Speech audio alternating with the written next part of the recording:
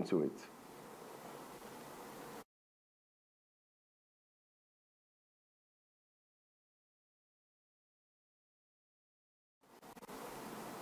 So once again, I'm starting with the name Femi Otedola, not just as a reference to him being a former major player in the oil and gas sector as we discussed yesterday, but now it's directly about him in his new role as a power generating supremo.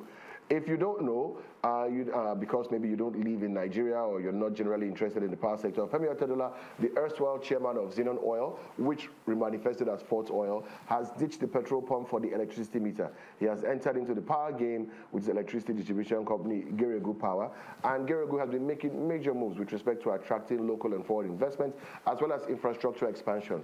But this is not about how well or not Geregu is doing, but about Femi Otedola's recent statements, which are very pertinent since he's an insider and should know what he's saying.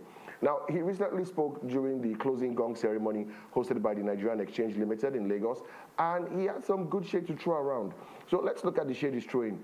First, he said since he was born, and I'm not paraphrasing, since he was born, Nigeria has been stuck at 5,000 megawatts but only Aliko Dangote, the founder of Dangote Cement and the world's richest black man, if you don't know, has managed to build 2,000 megawatts of power just for his cement plant, uh, which is basically just about 40% of Nigeria's total output. Now, is he just saying this? A quick fact check. He's not wrong. You see, despite the fact that Nigeria started electricity generation as far back as 1896 and the successive rebranding from NEPA to PHCN and the privatization and unbundling, which happened about 10 years ago, look, despite all this, the total power generating capacity, that is total available capacity if we use and maintain our equipment well, is just around 11,000 megawatts for over 200 million people. Now, put that into perspective. A country like South Africa generates well over 58 megawatts 58,000 megawatts, I beg your pardon, with 95% access rate for a country of just under 60 million people. And they still have power problems. They're demonstrating because of some blackouts.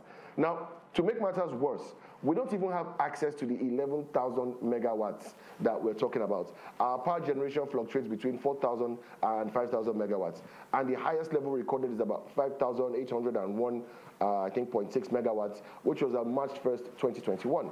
Now, he also went on to say that leadership is the problem and that it's disheartening that all the successive governments had failed to improve the deplorable electricity supply. And I agree with him.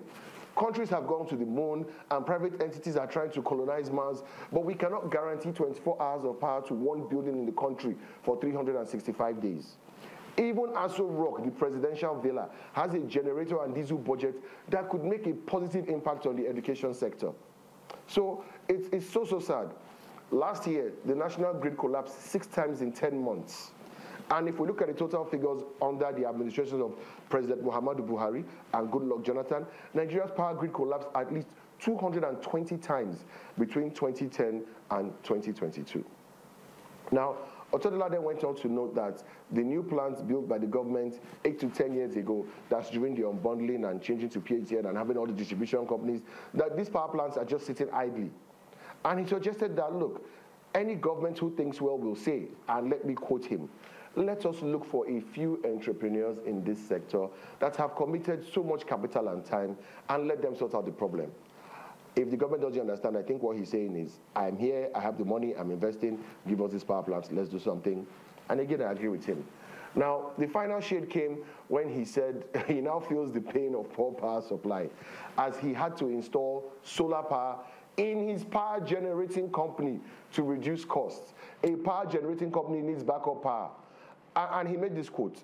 Of course, with Forte for and I used to control the diesel market. Today I'm crying. I have asked my team, my back office, to start installing solar power to save the cost of diesel.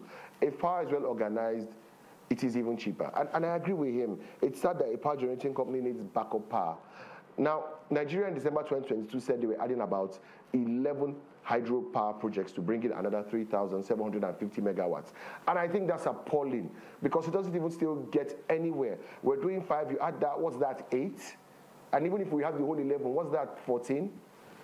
Geregu has shown us that what we need to do. Get private equity to take the system top to bottom and give government some equity for owning it originally. Till we take the spirit of NEPA out of our power sector, we cannot say confidently that there will be light. Now, Mr. Femi Otedola may have missed out on the opportunity to become my father-in-law and you know, we all make mistakes. But on the issue of power, he has hit the mark, and I'll leave it at that.